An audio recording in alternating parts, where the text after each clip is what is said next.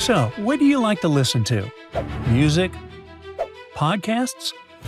Maybe the sound of rain or the crackling of a campfire. But what about listening to the ocean? Not the familiar crash of waves on the shore, but sounds captured deep on the cold ocean floor.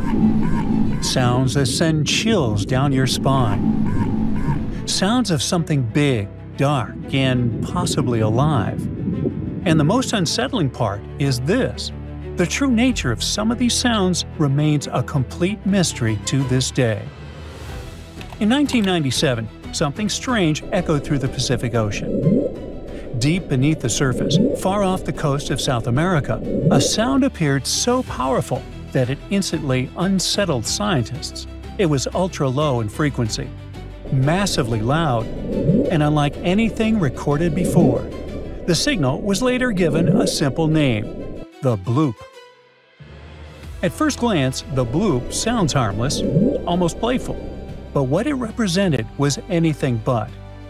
It was so intense that it could be detected by sensors nearly 3,000 miles away.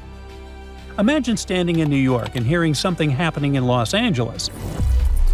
Now imagine that noise travel through deep ocean water, terrifying marine life and oceanographers. Whatever produced it had to be enormous. The signal carried patterns that felt like its source was some living creature, Whales were the first suspects, but even the blue whale, the largest animal in the world, simply couldn't generate a sound that loud. The numbers didn't add up, and that's when speculation took over. If something could produce the bloop, it would have to be larger than anything swimming in today's oceans. People began imagining creatures of impossible size, ancient sea monsters, the kraken. Some even whispered about the megalodon, a prehistoric giant shark thought to have gone extinct millions of years ago, and featured in dozens of videos right here on the bright side. The mystery only grew deeper when scientists mapped the approximate location of the sound's origin.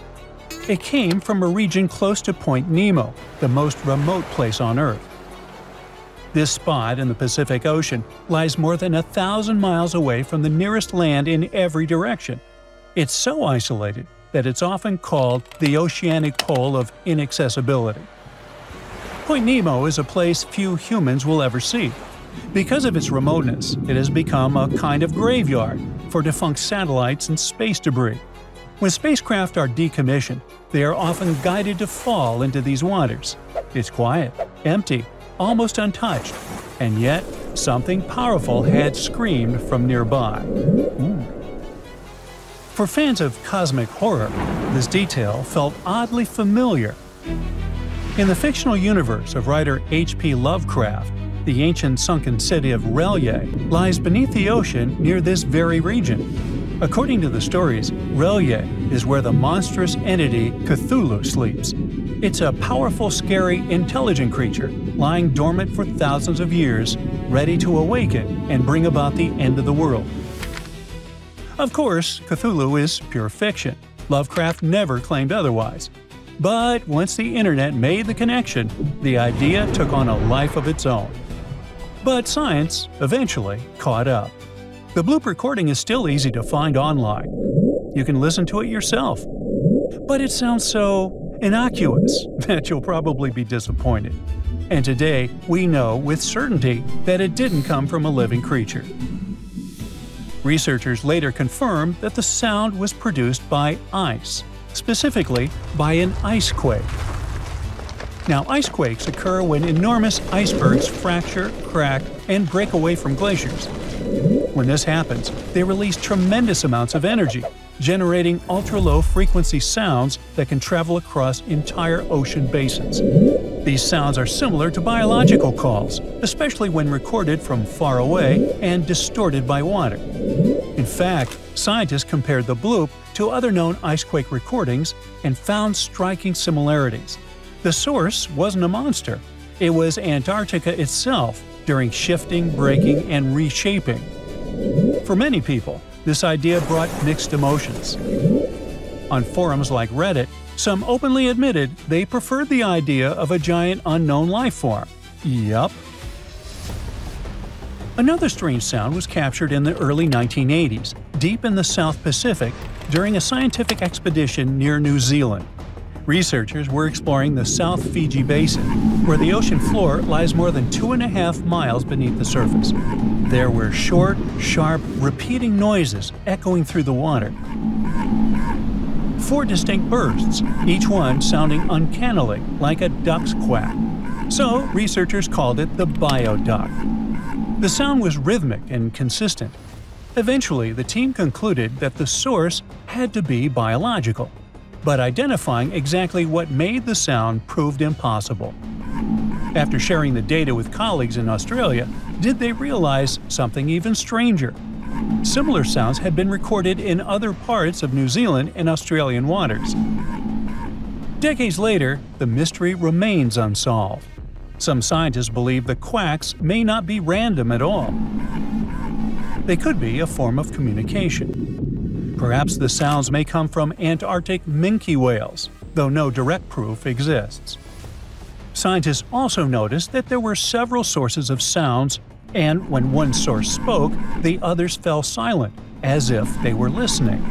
It may have been a conversation echoing through the deep in a language we still don't understand. Imagine a terrifying alarm blaring inside a secret laboratory announcing that a monster from another planet has broken free. It's an ugly sound, loud, piercing, and oppressive, the kind that makes your skin crawl. In August of 1991, scientists recorded something eerily similar. Not in a lab, but deep beneath the Pacific Ocean. Across vast areas of the ocean, a strange, repeating signal began to appear at different times. It consisted of narrow, rising tones that lasted several seconds each. Researchers named this sound upsweep. It's detected most often during the spring and fall, leading scientists to believe it may be connected to seasonal environmental changes or changes in the source itself. But what exactly was producing it? No one knows for sure. The only thing scientists can say with confidence is that upsweep appeared near areas of suspected volcanic activity. But if this sound is natural, why does it seem so precise? So consistent.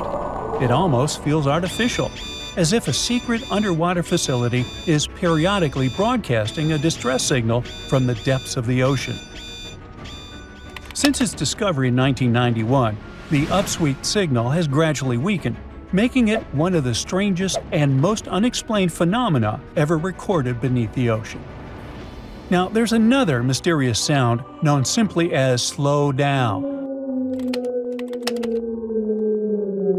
True to its name, the signal steadily decreases in frequency over 7 minutes before fading into complete silence. It was recorded in May 1997 on a hydrophone array located in the eastern equatorial Pacific Ocean. At first, slow down doesn't seem especially loud. But here's the chilling part. It was picked up by three separate sensors placed nearly 3,100 miles apart.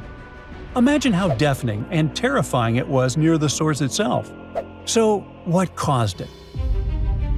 The most widely accepted theory suggests that a massive drifting iceberg slowly came to a stop and ran aground. The idea is surprisingly plausible. A colossal block of ice is scraping along the seafloor, grinding forward until it finally halts. The location supports this theory as well, since the sound originated near shallow waters and small islands. Because of this, many scientists classify slow down alongside the bloop as a cryogenic noise caused by ice. Still, it remains just a theory. Officially, the sound has never been identified. And there's yet another eerie recording from the ocean. This one sounds like a moan, but scientists named it whistle. Go figure.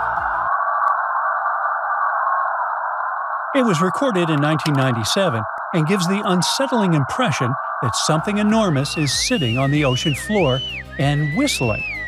Researchers believe that something could be an underwater volcano, when they compared the whistle signal to previously recorded volcanic sounds from the eastern Pacific, they found them very similar to each other. Most likely, all these sounds are of a natural source. volcanic eruption, or iceberg collision. But it's still pretty scary to hear something like this while driving. It would be especially unpleasant to be directly above an erupting underwater volcano. Well, yeah. That's it for today. So, hey, if you pacified your curiosity, then give the video a like and share it with your friends. Or if you want more, just click on these videos and stay on the bright side.